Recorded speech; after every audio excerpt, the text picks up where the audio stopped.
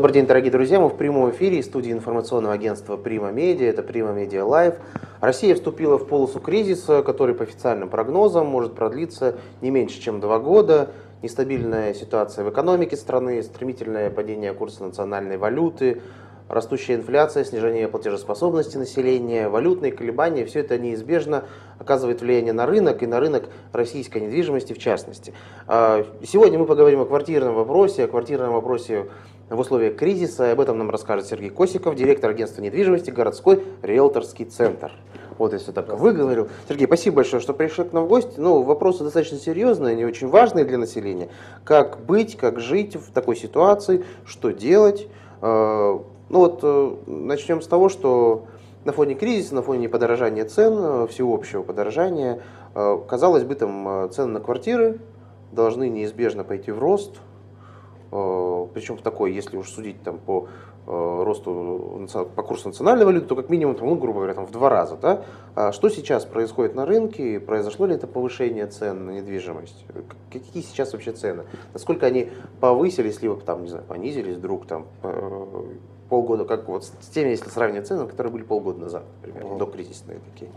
Ну, повысились, но в основном-то было в декабре, там есть определенные условия, о которых я расскажу. На самом деле рынок недвижимости, вот в частности жилой недвижимости, да, квартиры, он, ну, наверное, единственный сегмент нашего рынка, ну, один из немногих, да, который привязан к спросу. Да, если у нас цены растут на продукты, это есть какие-то объективные причины, и курс доллара, и импорт, и mm. все остальное. А цены на квартиры регулируются только спросом. Если у нас жить стало хуже, если денег стало меньше, если меньше возможности баловать себя чем-то. Если меньше возможность покупать квартиры, соответственно, спрос уменьшает. Платежеспособный спрос, mm-hmm. да, не потенциальный. Потенциальный у нас вообще огромный, и все не удовлетворены жилищными условиями. Mm-hmm. Да, платежеспособный спрос снижается, соответственно, ну, причин для роста цен нет. Вот здесь все регулирует рынок в чистом виде. Mm-hmm. Вот. Цены росли, цены росли в декабре, это был, пожалуй, такой вот ажиотажный спрос, причем это было не только у нас, это было везде по России. Uh-huh. Да, до сих пор у нас недвижимость остается, ну, пожалуй, там одним из немногих средств, куда можно вложить деньги. Да, не для того, чтобы даже заработать. Да. У нас государство чтобы, борется да. с инвесторами, хотя на самом деле люди больше вкладывают деньги в недвижимость, чтобы сохранить их. Угу. Да, хороший инструмент для сохранения денег. Люди снимали деньги со вкладов, люди переводили доллары, когда он уже был очень большой в рубли, да, и вкладывали в недвижимость для того, чтобы сохранить деньги. В декабре на рынке покупалось все. Квартиры, которые стояли годами неликвидные, там, по завышенной цене, там, в ужасном состоянии. Угу. Практически все продавалось. Очень много было сделок. Ну, вот в декабре, в январе, так как сделки тянутся там, от месяца там, до полутора, могут mm да, в январе еще эти сделки закрывались. А, вот из-за этого и спрос, вот такой большой ажиотажный спрос подогрел цены в декабре. Да, за декабрь рост цен там был порядка там, 4%. Mm-hmm. Это, это вот просто ну, по, за последние 2-3 года, если брать, это просто сумасшедший рост. Mm-hmm. Вот. А в январе рост цен еще порядка 3% составил, но это уже, скажем так, последствия. Да, сейчас ну, входим в так называемую фазу стабильности. Так что будет дальше, еще никто не знает.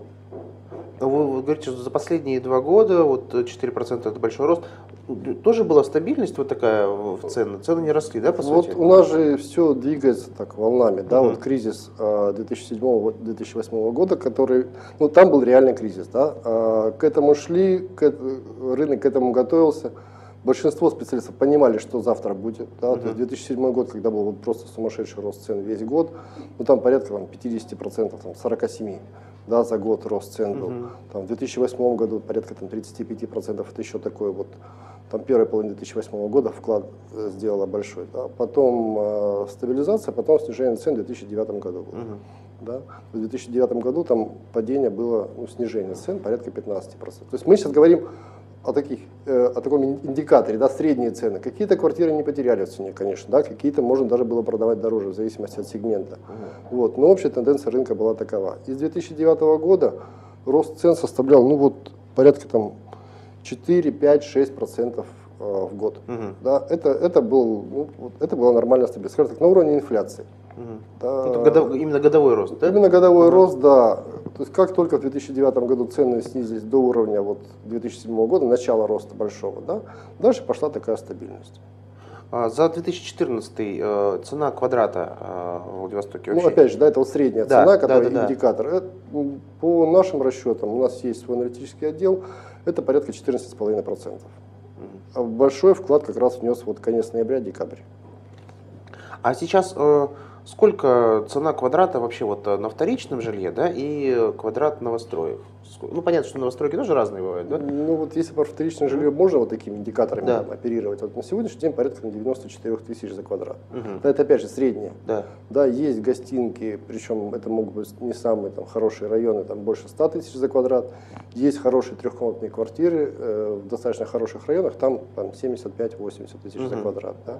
Вот. В не, не очень хороших районах, ну, скажем так, не, не совсем востребованных, с не очень хорошей инфраструктурой, там и 65, и 70 тысяч за квадрат может быть.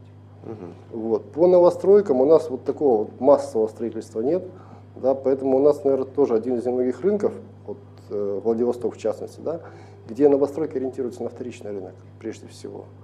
Да, вот есть у нас там дом достаточно большой, который сейчас уже вот сдается, люди получают свидетельство, там порядка там, 85 тысяч за квадрат. Ну, Да. цена варьируется от цены на вторичном Это рынке, всегда да? так было, да. Но когда дом подходит к стадии готовности, как правило, цена продажи вот квартир э, находится, цена за квадрат находится на уровне там, средней по цены по вторичному рынку. Мгм. Да.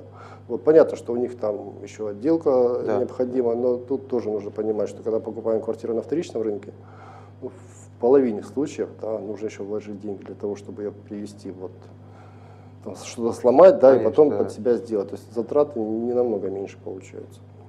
А в декабре, да, в начале января вот этот ажиотажный спрос. Э, Что сейчас э, идет на рынке, вот эта стабилизация, спрос на си- сильно упал. И вот, ну, вы говорите, что никто не знает, что будет, но хотя бы какие-то там наметки, да, есть мысли по поводу, по поводу ситуации в стране, что может произойти. Понятно, что сейчас трудно загадывать, это так вилами на воде. Все будет хорошо. На самом деле, вот э, спрос сейчас просел, причем, ну, скажем так, не так сильно, как мы могли вот себе ожидать, учитывая вот декабрьский, когда на рынок вышло очень много покупателей, когда очень много квартир было продано, там были продавцы в панике, снимали, потому что не могли найти себе встречный вариант, да. А, Мы ожидали, ну, что спрос будет гораздо меньше, вот сейчас, да. Февраль, вот сегодняшний февраль уже ничем не отличается, там, ну, есть объект на продажу, да. Есть там, ну, примерное количество звонков, которые, получая объект на продажу, мы можем понимать, да, в зависимости от цены, от расположения, сколько примерно будет интереса к этой квартире, да, сколько будет звонков, это все давно просчитано, ну, вот, это простая математика. А, Вот сегодняшний февральский спрос у нас, в принципе, на уровне февраля прошлого года, ни лучше, ни хуже. Да, мы ожидаем, да, возможно, по каким-то сегментам цены просядут. Да, просто в силу того, что они были завышены в декабре, реально завышены. а вот какие это сегменты могут быть? Это прежде всего небольшие квартиры, которые вот больше всего покупались. Да, ну, о чем можно говорить, если там, квартира вот в хорошем районе, однокомнатная квартира, ну, в неплохом состоянии. Там, октябрь-ноябрь средняя цена была там 3 700, 3 800 Ага. однокомнатная. Да, вот опять же, это средние цены, Да. просто для примера. Да. То к концу декабря, там, к середине января такая квартира торговалась уже за 4,5. М, Да. ну, так, Сейчас цены вернулись на уровень 4200, 400. Вот. Это падение. Ну да. Ну вот, да. да. смотря с чем сравнивать. Да. Если сравнивать с нормальным вот, ноябрьским уровнем, это даже рост еще цен. Ну, это из серии, как сейчас курс доллара рухнул до 62 О, рублей. да, да, Да, да, это да, вот да, из, да, серии да. вот такого же падения. А, вот какой вопрос. А, а, прочитаю его, потому что он очень большой. Кризис на рынке недвижимости проявился своеобразно. Не ростом цен, а сокращением предложения продажи. А, Например, судя по объявлениям в интернете, хозяева квартир «Снеговой поди» резко притормозили в желании обменять квадратные метры на деньги. В августе семьи военнослужащих активно предлагали свои апартаменты по 6-7,5 миллионов за двушку. Теперь же таких объявлений мало. А мало ли? И... У меня немножечко другая информация, Ага. да, вплоть до того, что у нас есть отдельный отдел, специальное Да, направление, да, которое да. занимается снеговой падью. Снеговой падью сейчас интересуются все. Да. Отдельный район, новый Да. выстроен, да, как хороший индикатор. Это не индикатор нашего рынка. Да, вообще Владивостока. По Мгм. одной простой причине, что там получали военные, получали военные. У нас есть клиенты, начиная от Читы до Сахалина, Камчатки. Да, Все Мгм. получали здесь, получали потому, что в другом месте не могли, Да. получали с целью продать и переехать в другой регион. То есть именно поэтому там, в свое время, когда массово они все получили, да, массово пошли быстренько переезжать, было очень много квартир. Э, очень много квартир было продано, сейчас уже все идет там в рабочем порядке. Мгм. Да, количество квартир в снеговой паде уменьшилось не к Новому году, оно очень сильно уменьшилось уже там, к сентябрю, к октябрю прошлого года. То есть все вошло вот в фазу стабильности. Все, кто хотел продать, продали. Да, сути, дальше в рабочем порядке. Э, Вот у кого-то время пришло, да, кто-то окончил службу, у кого-то Мгм. дети выучились, да, пришло время переезжать, потихонечку эти квартиры. То есть количество квартир сейчас в снеговой в продаже на уровне вот там, Владивостока, да, если мы говорим, что в Владивостоке там порядка 150 тысяч вот, квартир есть, да, и при нормальном режиме продается порядка 3,5-4 тысяч объектов, да. Мгм. Там, э, в ажиотажный спрос их может быть там чуть-чуть больше. Э, Во время кризиса их может там 2,5-3 тысячи быть. Вот в процентном соотношении в снеговой паде сейчас то же самое количество квартир продается, ни больше, ни меньше. Вот всего лишь. А по поводу сокращения предложений, да, оно есть. Но да, если мы говорим о том, что в декабре половина квартир даже не ликвида Да, было да, куплено, да.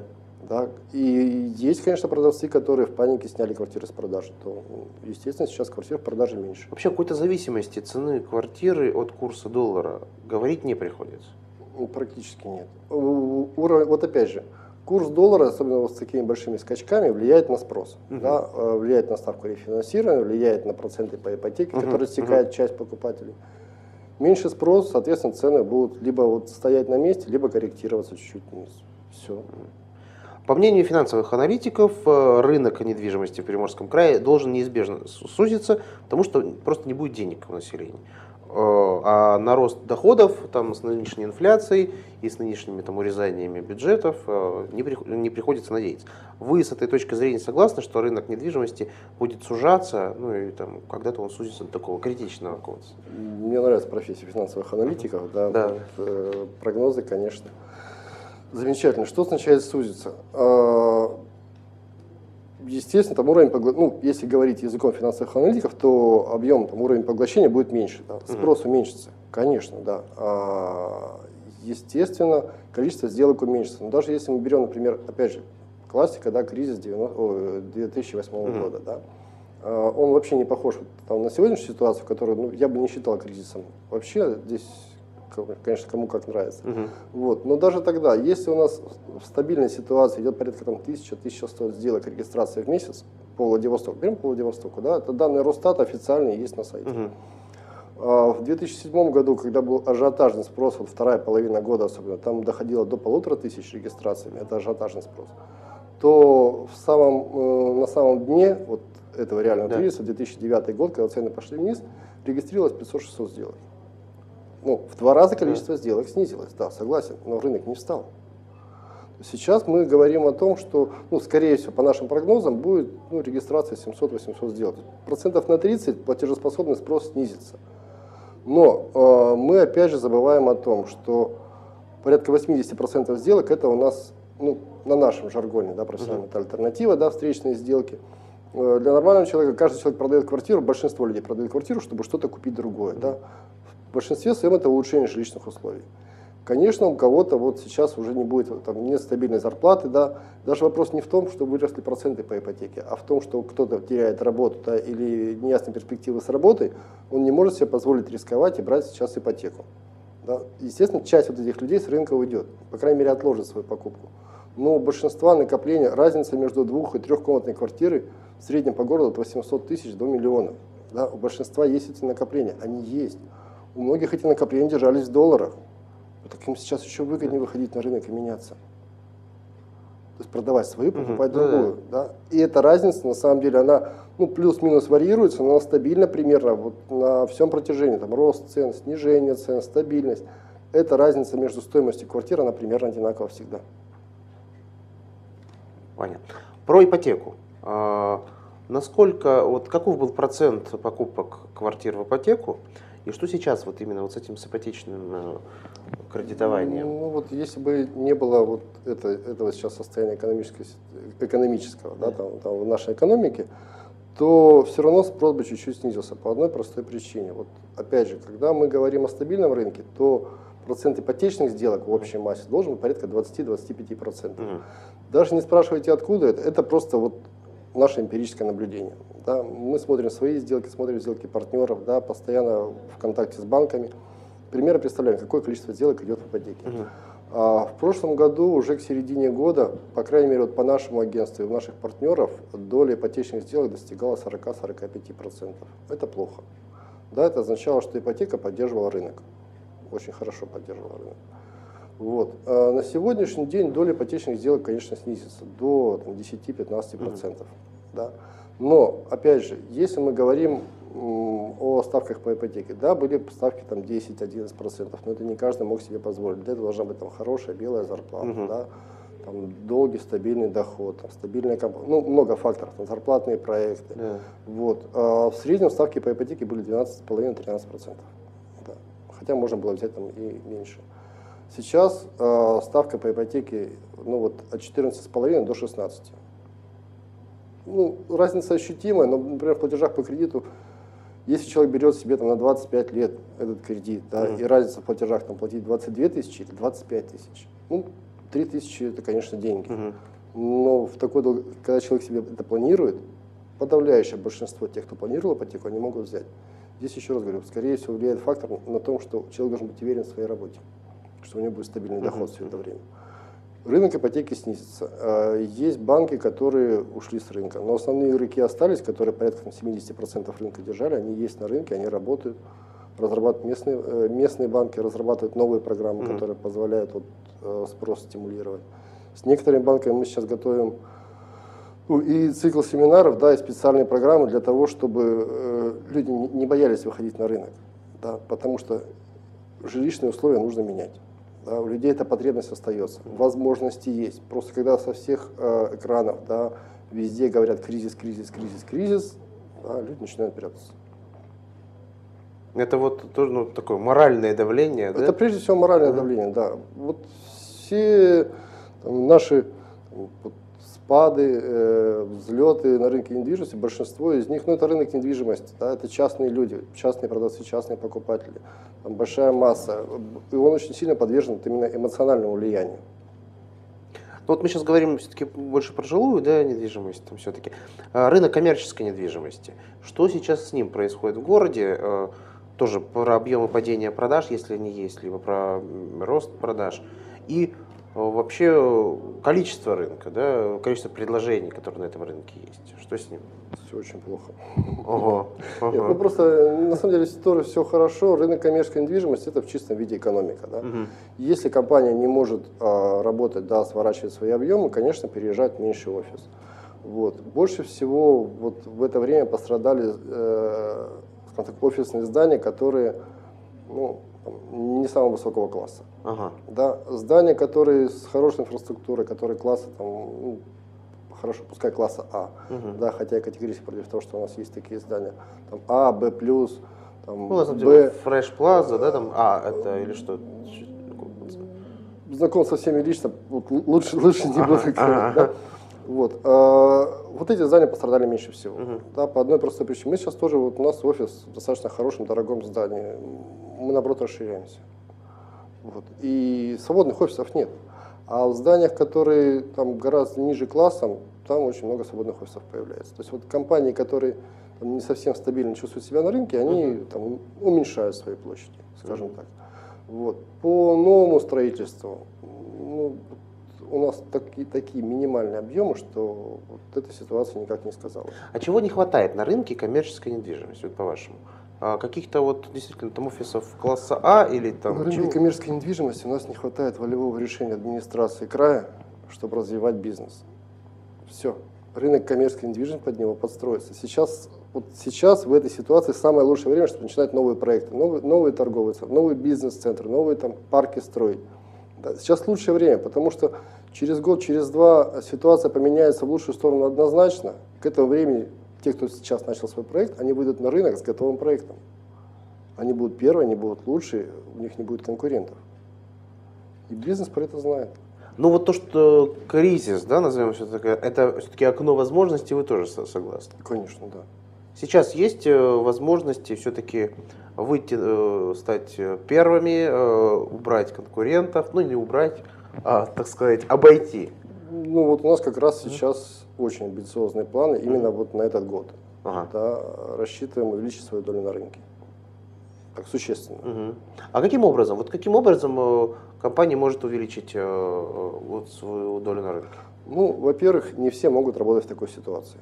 Да? Во-вторых, а, не все понимают, ну, к сожалению, наверное, да, хотя для нас, к счастью, не все понимают, как а, работать вот с покупателями, с продавцами да, на этом рынке для того, чтобы сделки совершались. Вот ничего страшного на самом деле не происходит. Я уже приводил пример. Разница в цене на квартиру, она примерно одинакова. Количество а, желающих поменяться, оно вот примерно такое же осталось. Ничего страшного не произошло. Вот. За счет того, что мы рассчитываем, количество наших ну, партнеров, конкурентов на рынке станет, возможно, чуть-чуть поменьше, да, мы просто наращиваем объем. А согласны ли вы с таким утверждением, что в Владивостоке цена на недвижимость неоправданно завышена?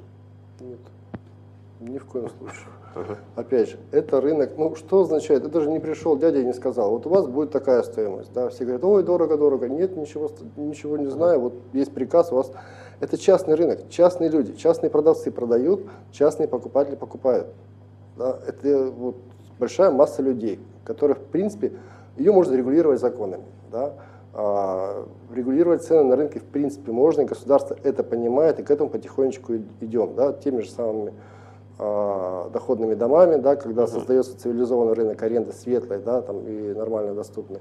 Той же самой ипотекой, тем же самым строительством нового жилья, если государство дает зеленый свет и помогает активно строить жилье и дает какие-то преференции тем, кто покупает жилье в новостройке, да, соответственно, будет спрос перемещаться на новостройки. Мгм. Да, и за счет большой конкуренции цены не будут так расти.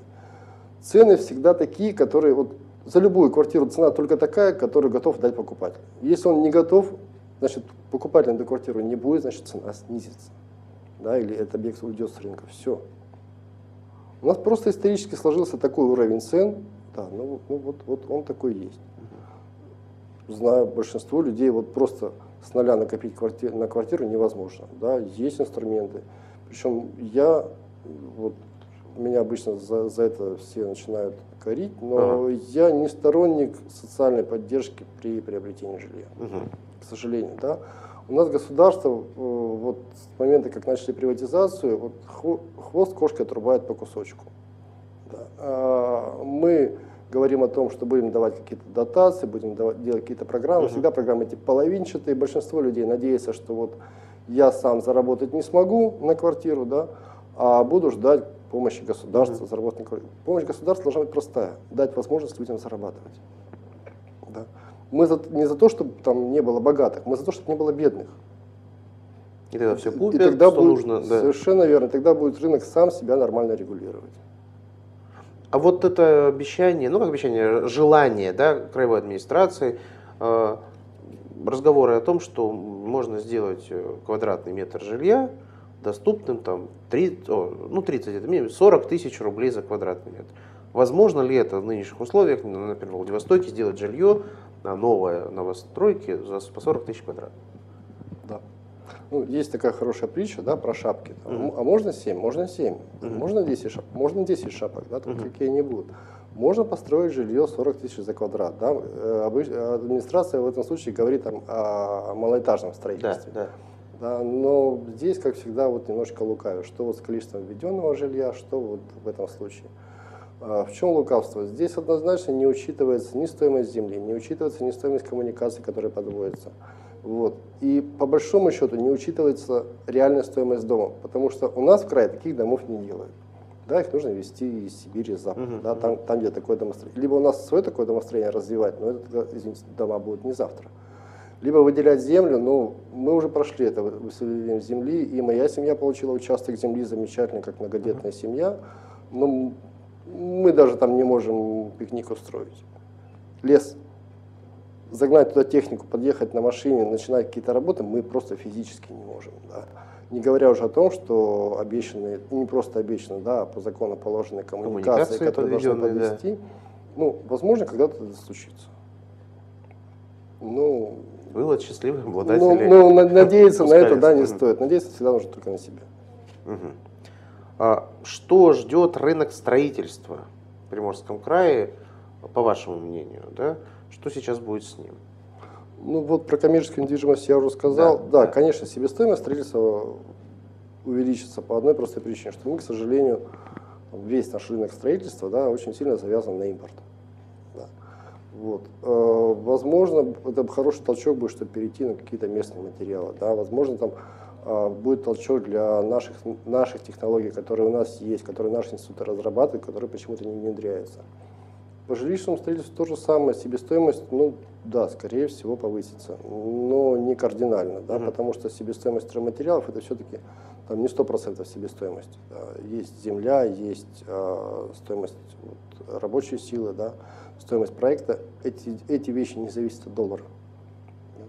Повысится, но тем не менее, э, с учетом того, вот, если говорить про жилье, то количество, которое строится сейчас, ну, вот реально минимальное, да, минимум там в 4 раза больше нужно строить, чтобы угу. вот хоть как-то минимум. Урав... минимум, да, угу. чтобы уравнять платежеспособный спрос, да, по новостройкам. Вот. Поэтому все будет хорошо. Особенно будет хорошо у тех, кто сейчас, у кого сейчас проекты на начальной стадии. Да.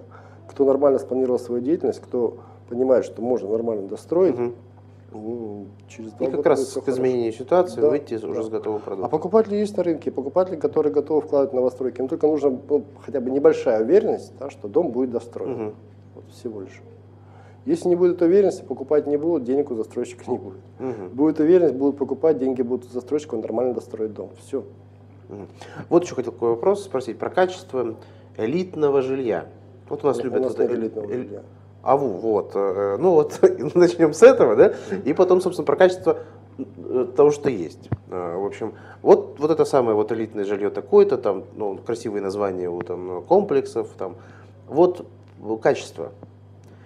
Ну, давайте так, у нас элитное жилье, вообще, если мы говорим об элитном жилье, скажу только свое мнение, да, uh-huh. это не только итальянский кирпич и там, оградка из Милана привезена, uh-huh. да, это еще и весь вот образ жизни вокруг дома, рядом с домом, да. В какой подъезд да. я вхожу, кто у меня соседи, в какой двор я выхожу, да, а, где у меня стоит машина и как я дальше добираюсь, куда мне надо. Да, вот, это, вот это понимание элитного. Если у меня все здесь на высшем уровне, да, тогда я живу там в элитном жилом комплексе. Если я живу в элитном жилом комплексе, в котором у меня из окна сосед, соседская общага и вот постоянные разборки под окнами, это не элитный. Да, ну, к сожалению, так. Э, есть дома хорошего бизнес-класса, хорошего, добротного бизнес-класса, да, а, достаточно дорогие, с нормальным, ну, скажем так, по уровню, э, окружением социальным uh-huh. рядом, да, э, с какой-то придомовой территорией. Сейчас замечательная вещь подземные паркинги, да, слава богу, стали их все строить, на всех не хватает, но тем не менее, да, кто желает, может себе приобрести, очень хорошая штука, но элитного жилья у нас нет. Качество вот этого бизнес-жилья все-таки всегда достойно ну, заявленным там, вот этого бизнес-жилью, да? Или все-таки порой оставляет желать лучшего? Вообще качество строительства Все-таки я не эксперт строительства, ага. да. Конечно, разговаривая с экспертами, с самими строителями, качество у нас ужасно. Ну, по одной простой, ну, даже, наверное, не по одной, одна из причин, то, что вот, опять же, вообще не постоянно выходит, это э, оторванность проектировщиков, да, от реальных строителей. Вот. И когда в процессе строительства приходится уже проектом доделывать mm-hmm. или, или строить так, как оно, не так, как красиво нарисовано, да, а так, как оно можно реально хотя бы просто построить, уже не встает вопрос, чтобы построить ну, вот что-то супер. Вот. И это встречается сплошь и рядом. Ну и плюс, конечно, качество самих материалов. Да. Люблю Россию, но все-таки это, это Россия пока еще. Да.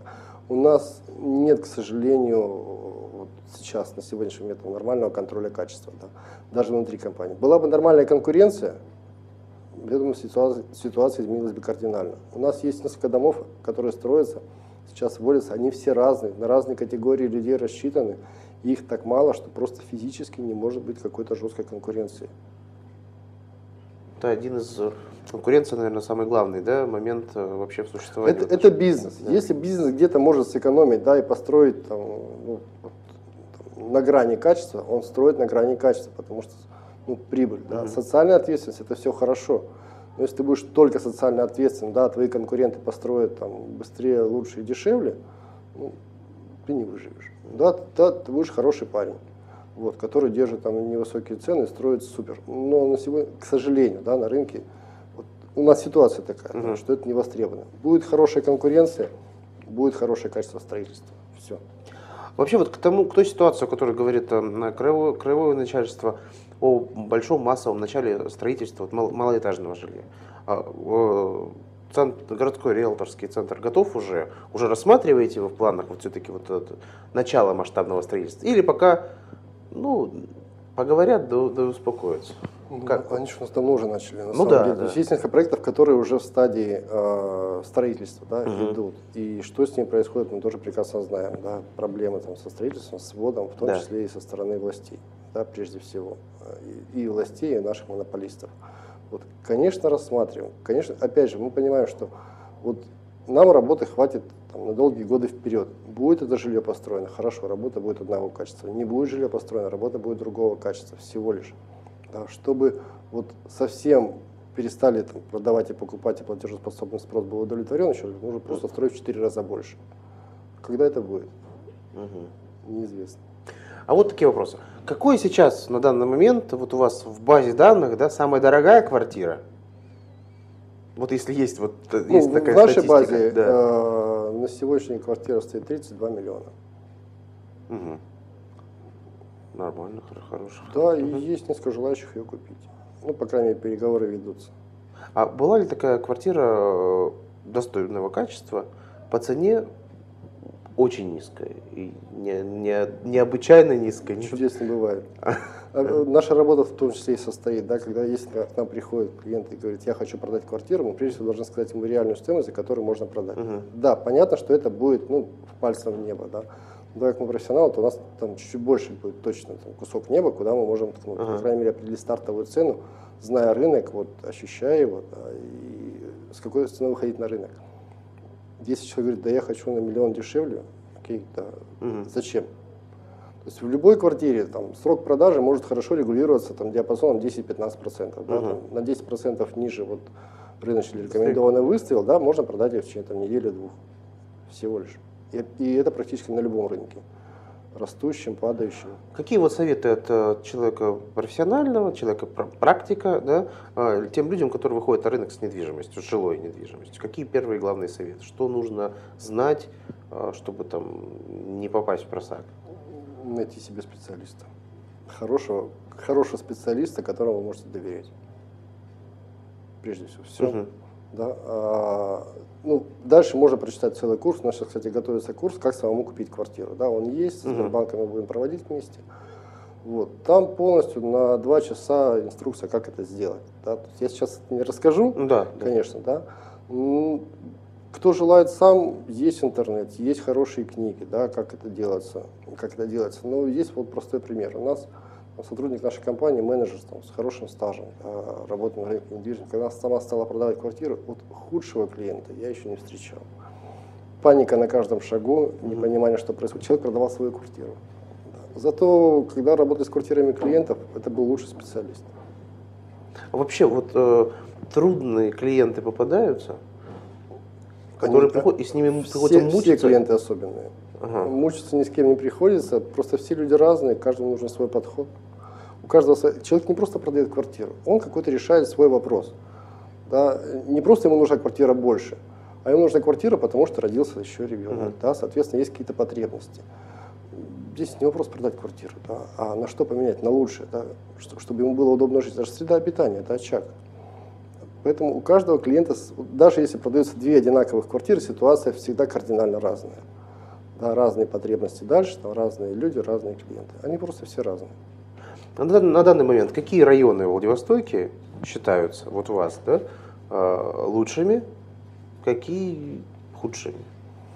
Менее лучшими, вот так. У меня свое мнение по этому поводу, да, но, скажем так, я могу сказать, какие более востребованы, да, и высокие по цене, какие там менее востребованы. Вот за много лет картина практически не поменялась, хотя немножко выравнивается. Вот за последние там, 4-5 лет а, вторая речка очень хорошо догнала по цене и по востребованности район столетия, да, который раньше Мгм. всегда был вот, достаточно дорогим. Сейчас все прекрасно понимают, что на столетие дома все-таки достаточно старые, да, и море близко, но в ту же за- загазованность, Да. хотя хорошая развязка. Ну, вторая речка догнала. А третья рабочая очень активно, она и застраивается активно, да, Мгм. и пользуется спросом просто как минимум в силу хорошей расположенности да, по транспортной доступности.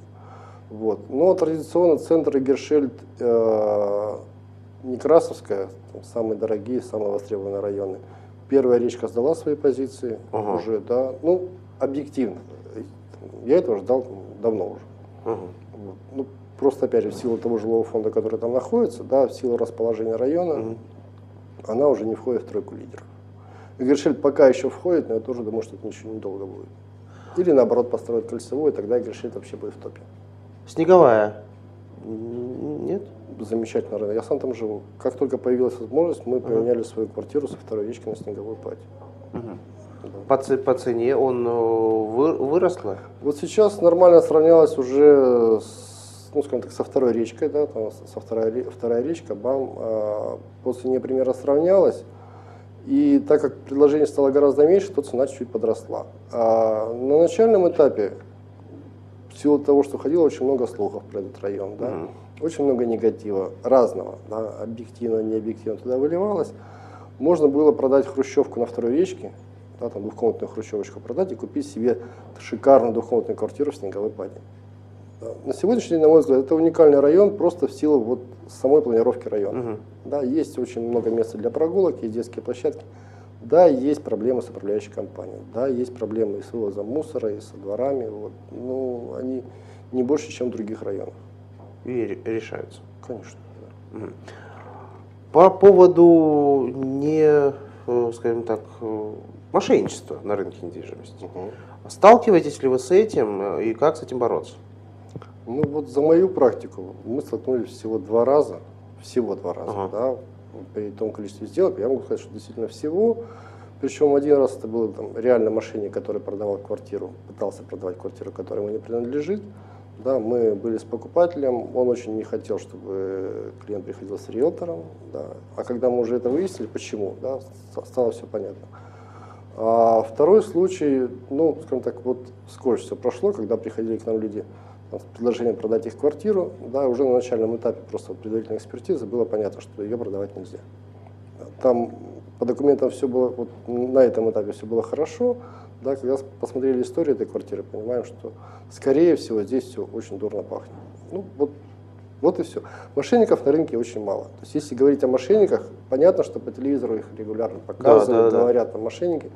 Ну, о чем-то же надо говорить. да. Если мы будем говорить, ой, какие замечательные у нас хорошие сделки проходят, какие все честные, никто телевизор не будет смотреть. Вот. А мошенников на рынке мало, большинство потерь у людей происходит из-за незнания рынка, да, из-за незнания, как проводятся сделки. Да. А потерять деньги, ну, можно потерять деньги, э, и цену неправильно определил, да, и сделку неправильно определил. Большинство сделок просто распадаются из-за того, что люди не могут договориться. Да, у каждого свое видение, как проводить сделку, и каждый хочет защитить себя любимого прежде Мгм. всего, да, о контрагенте не думай. Мошенников на рынке очень мало, но они есть.